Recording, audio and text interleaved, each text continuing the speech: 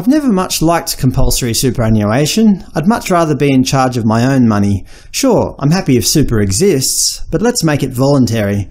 A recent report from the Centre for Independent Studies, CIS, agrees.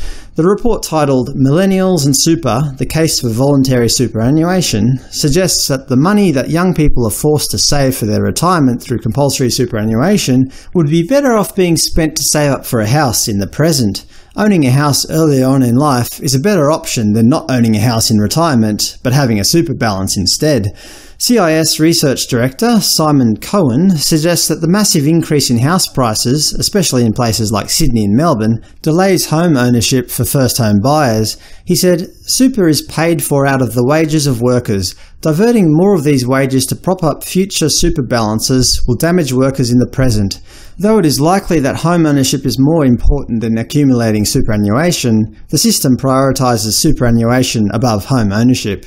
Looking at this chart from the report, we can see that property prices have risen sharply compared to Australian income since about the early 1990s, around the same time compulsory superannuation was introduced. With the introduction of compulsory super, workers have had to spend a lot more of their take-home income to save up enough for a home deposit.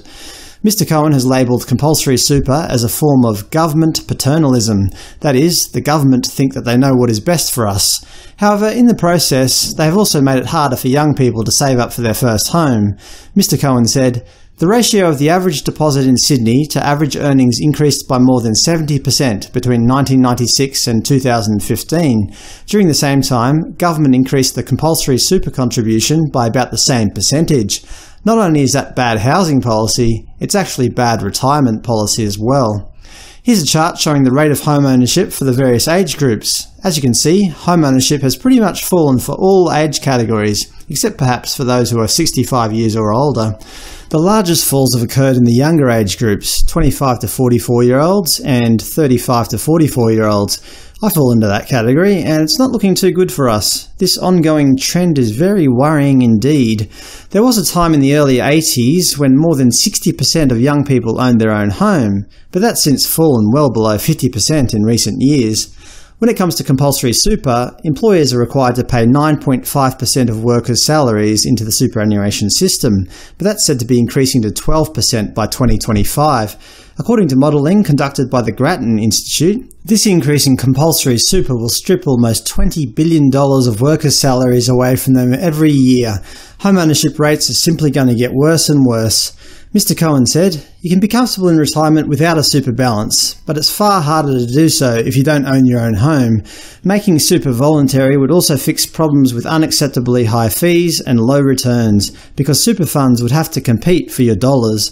So there we go. Compulsory superannuation hurts first home buyers. As Simon Cowan said, superannuation is government paternalism at its best. The government seem to think that they know what is good for us, so they force us to pay a percentage of our hard-earned cash into a system which is known for unfair fees and poor returns. Super doesn't help individuals. Super helps the super funds.